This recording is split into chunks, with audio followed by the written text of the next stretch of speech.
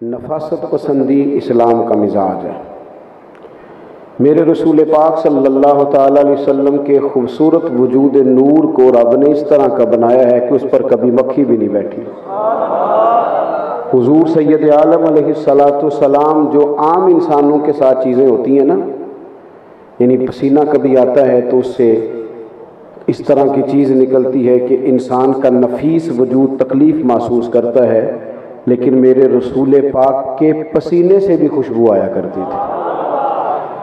इस्लाम पाकिजगी का दीन है पाकिजगी का।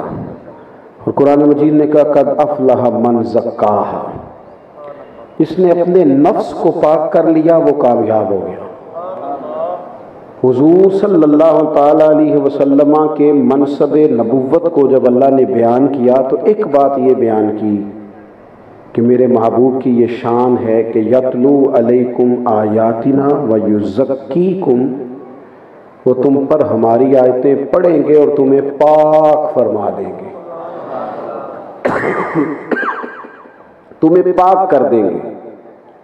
इस्लाम नफासत पसंदी का कायल है। आजकल कुछ लोगों ने जाली दरवेशी भी इख्तियार किए ना कहते हैं बाबा दरवेश है। वो दरवेश मसलन किस तरह का है कहते इस, ये ना इसने मुँह नहीं धोया हफ़्ता हो गया है। मैंने कहा ये दरवेश नहीं ये मैला है इसका मुँह धुलाओ और इसे बताओ कि इस्लाम वो दीन है जो पाँच वक्त वज़ू करने का हुक्म देता है। तो नफासत पसंदी इस्लाम का मिजाज है। वज़ू से जिसम धुलता है और फिर जब वज़ू करके नमाज़ पढ़ता है तो गुनाह धुलते हैं। और ख़ुद नबी पाक सल्लल्लाहु अलैहि वसल्लम ने इस इबादत को, नमाज़ को ज़रिया पाकिजगी करार दिया है। आप उस हदीस पाक को कभी तस्वुर में लाएँ जो नबी पाक सलाम ने नमाज़ के ताल्लुक से बयान की। करीम फरमाने लगे, बताओ, अगर किसी के दरवाजे पर नहर हो नहीं दरवाज़ा खोले तो सामने तालाब है, नहर है सामने। और वो पाँच वक्त उसमें गुसल करे। हजूर फरमाते हैं, बताओ उसके बदन पर कोई मैल कुचल रह जाएगी? शाहबा ने अर्ज़ की हजूर बिल्कुल नहीं रहेगी। तो करीम फरमाने लगे, फिर जो पाँच वक्त नमाज़ पढ़े, उसके वजूद पर गुनाह भी कोई नहीं रहता। इल्ला ये कि उसने हुकूक अदा करने हों, और वो उसे अदा करने पड़ेंगे। अज़ीज़ भाई पाकिजगी इस्लाम का मिजाज है। नबी पाक सल्लल्लाहु अलैहि वसल्लम ना सर में कंगी करते थे। हुजूर मुकद्दस बालों को तेल लगाते थे। देखिए, सादगी का मामला और है। और सादगी में नफीस होना ये रंग है जिसे मेरे नबी ने बयान फरमाया है। कपड़े सादे होने चाहिए पर साफ़ सुथरे। बेहतरीन। हमारे यहाँ बाज लोगों ने ना सादगी का तर्जमा मैल कुचैल रख लिया है, ये तर्जमा नहीं है सादगी का। इस्लाम तो ये आपको कहता है कि आप रोटी खाने से पहले भी हाथों को धोएँ, रोटी खाने के बाद भी हाथों को धोएँ। एक शख्स को हुजूर ने देखा, उलझा हुआ लिबास है, बिखरे हुए बाल हैं अटा अटा सा उसका जिसम है अजीब गरीब सी कैफियत है तो हुजूर ने बुला लिया। फरमाया, तुझे तो अल्लाह ताला ने माली तौर पर वसत दे रखी है, फजल है तेरे ऊपर। या रसुल्ला अल्हम्दुलिल्लाह। तुम आबू फरमाने लगे, फिर साफ़ सुथरा लिबास पहनना रब नेमत दे तो उसका असर देखना पसंद करता है। नफासत पसंद बने, मिजाजों में नफासत लाएँ। लिबास उजला, खुशबू वाला अच्छा साफ़ सुथरा पसंद किया गया। लेकिन सारा ज़ोर सिर्फ़ ज़ाहिर पर ना हो। आप दो दिनों के बाद जब नहा लेते हैं तो तबीयत बिल्कुल हल्की फुल्की हो जाती है ना? माना क्या है कि मन के, तन के सारा मैल उतर गया तो तबीयत हल्की फुल्की हो गई।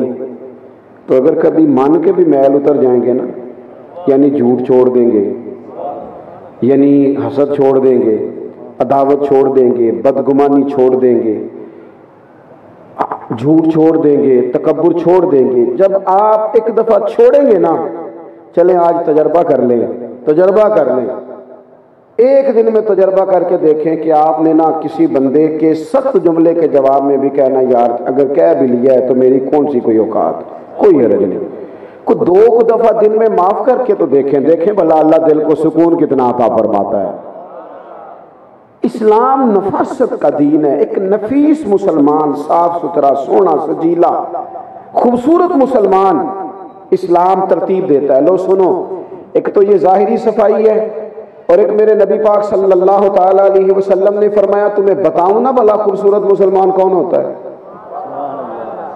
हुजूर फरमाने लगे, तुम्हें बताऊँ ना भला खूबसूरत मुसलमान कौन होता है? इस्लाम किसका खूबसूरत है? या रसुल्ला बताइए। तो अल्लाह के महबूब सलाम फरमाने लगे, जो बंदा बेमकसद बातें छोड़ दे ना फजूल काम छोड़ दे, लगवियात छोड़ दे, जिसका उससे ताल्लुक नहीं, उस बहस को छोड़ दे। फरमाया, वो खूबसूरत मुसलमान है। मतलब की बात करे, ज़रूरत की बात करे, ज़रूरत का सवाल पूछे, अपने काम की तरफ़ तवज्जो रखे, वो खूबसूरत तरीन मुसलमान है। हम पता है, बहुत सारा बिला वजह का बोझ है बिला वजह बिला वजह की टेंशन, जिस बंदे का उस काम से कोई ताल्लुक नहीं ना। वो काम भी हमने ज़रूर करना है। हमने सारे मोहल्ले का पता रखना होता है। अगर किसी घर में गरीबी आ गई है ना तो फिर उसका जवाब हमारे पास ये है कि चार जी ने काम क्यों नहीं कर दे? हालाँकि कई दफ़ा दस भी हों तो रिस्क तब भी आता है जब रब का फजल होता है। चार कमाने वाले क्या दस भी हों तो देना तो मालिक ने। है और अगर किसी जगह पैसे चार ज़्यादा आ गए तो?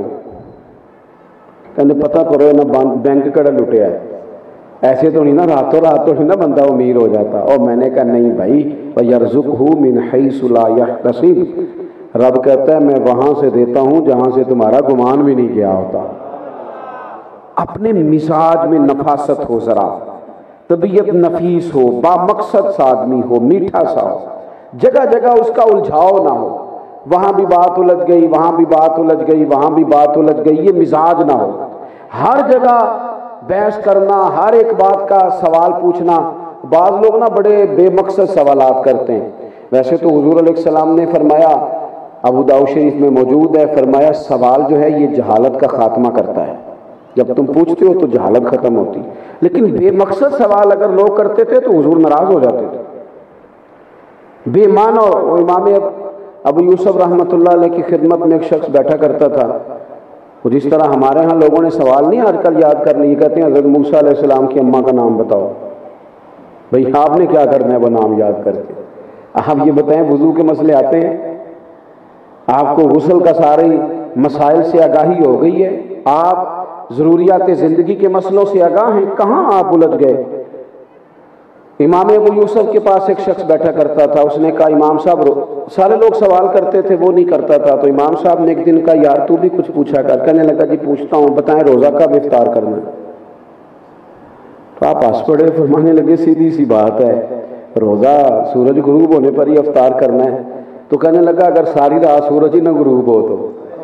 तो इमाम साहब कहने लगे, पुत्र, तू चौपी रिया कर। तेरा खामोश, वो कौन सी रात है जो रात भी हो और सूरज गुरूब भी ना हो? सारी रात सूरज कुछ लोग ना बिला वजह के मकसद, बिला बजा के मकासद, बिला वजह ये काम ना करें। अपनी ज़िंदगी में नफासत लाएँ, तबीयत में नफासत लाएँ। बहुत ज़्यादा सोच सोच के उसका भी पता कराओ, उसका भी पता कराओ, फलाना भी नहीं मेरी बात सुन रहा, फलाना भी नहीं मेरी बात सुन रहा। एक बुज़ुर्ग थे सादे से तो एक दफ़ा उनसे किसी ने कहा कि आपके बच्चे सारे फरमा कहने लगे, कभी इतनी टेंशन नहीं ली तो रब को अजर लैनगे, नहीं करेंगे तो आप ही दुनिया ते आखरत ते खराब होंगे मैं दिल पे क्यों सवार करूँ? हर बात की टेंशन लेना, हर बात को दिमाग पे सवार करना, आप नफासत पसंद हो जाएँ। एक तो बेमाना बातें छोड़ दें, जाहिरी सफ़ाई के बाद। दूसरी बात, बेमकसद, बेमाना, ये सब। और तीसरी बात मेरे अज़ीज़, अच्छी तरह अपने जहन में संभालें कि गुफ्तगु साफ़ सुथरी। रसूल पाक का लहजा बड़ा खूबसूरत था। इन्हीं बातों में वो हुस्न था कि कख सवाद नहीं मिश्री अंदर। असा खंडा भी चख डिठिया, इन्हों सारिया शैवों नालों ते गल्लां सजन दियाँ मिठिया। हुजूर की बातों में अजीब लज्जत थी, अजीब रानाई थी। हुजूर बोलते थे तो यूँ लगता था मेरी ही बात कर रहे हैं। सैयदा शाह सिद्दीका रदी अल्लाह तला फरमातियाँ, यूँ ठहर ठहर कर बोलते। ये अंदाज में हुस्न और जाजबियत होती कि बाज़ात एक बात को तीन दफ़ा दोहराते, सामने वाले की समझ में पूरी बात आ जाती। और सैयदा फरमाती हैं कि मेरे रसूल पाक की बातों की लताफत ये थी कि अगर कोई हुजूर के जुमलों को गिनना चाहता था तो गिन भी सकता था। ऐसा उसके अंदर खूबसूरत मतलब रद्द अमल के तौर पर भी सख्त बातें ना करें। गालम गलोच करना मुसलमान का मिजाज नहीं। सख्त जुमले बोलना मुसलमान का मिजाज नहीं। ये जो आप आके कहते हैं ना, मैं सनाइया ने चार फिर अगों बोले या नहीं? तो कहने वाले तो कह ही देते हैं? ये सुनने वाले हैं जो कमाल करते हैं। ये तो सुनने वाले हैं वो साहब, वो बंदा बड़ा था जिसने आपकी सारी सुनी। कभी कच्चा जुमला, कमज़ोर बात। कभी नहीं। नबी पाक सलाम ने फरमाया, मोमिन को गाली देना फिस्क है और उसके कत्ल को गोया जायज़ समझ के करना मोमिन होने की वजह से ये कुफर है। मोमिन हो और उसकी ज़ुबान पर गालम गलोच हो। चले रब रसूल के दुश्मनों के बारे में तो रवैया सख्त हुआ और कामिल मुसलमानों के बारे में, मोमिनों के बारे में कभी भी आप ऐसा अंदाज ना इख्तियार करें। अज़ीज़ भाई, ज़ुबान भी साफ़ हो। और चौथी बात यह है कि सोचें भी ज़रा साफ़ हो। कुरान मजीद कहते हैं, इजतानी वो कसीरम मिन जन्न इन नबाद जन्न इसम। फरमाया, बहुत सारे गुमानों से बचा करो, बाज गुमान भी गुनाह है। साफ़ सुथरा सोचे। आप क्यों लोगों के बारे में बदगुमानी करते हैं कि वो फलाना पता नहीं क्या हो गया है, फलाना बड़ा गलत हो गया है, वो फलान जगह मैंने फलाने को खड़ा देखा, इसीलिए तो खड़ा होगा। फलाना यही तो कर रहा होगा। आप क्यों बदगुमानी करते? बदगुमानियाँ बड़ा नुकसान करती। बदगुमानियाँ अच्छे भले लोगों से हमें दूर कर देती। जहाँ से हमें दुआ मिलना होती है, अच्छी सोबत मिलना होती है, हम वहाँ से दूर हो जाते। अपनों से दूर हो जाते हैं। बाज लोग जेन में बात डाल देते हैं। वो तेरे तो सारे अपने लालच की वजह से तेरे पीछे लगे हुए। बंदा अपने बहन भाइयों से बाल बच्चों से, ससुराल वालों से, फलाने से उसके जेन में ख्याल आने लग जाते हैं, छोड़ो जी, सारे तो मेरे मन सब के पीछे। कभी बदगुमानी ना करें, बुरी सोच ना पैदा करें। क्या खूबसूरत सबक दिया पाक करने वाले रसूल ने। फरमाया, तू अच्छा सोचता रह। रब इस पर भी तुझे इबादत का सवाब अता फरमाएगा। सोचों की सफ़ाई, निखार सोचों का। आप मुस्बत सोचें, सुबह ना उठ के आप ये सोचें कि रब ने जितनी मखलूक बनाई है, ना सोनी बनाई है। आप सुबह उठ के ख्याल करें कि नहीं, ये रसूल पाक के गुलाम हैं। इनके अंदर अभी भी बड़ी खैर मौजूद है। हजूर का फैज़ है। आप कुछ थोड़ा सा अच्छा गुमान करके तो देखें, जेन तो बनाए थोड़ा।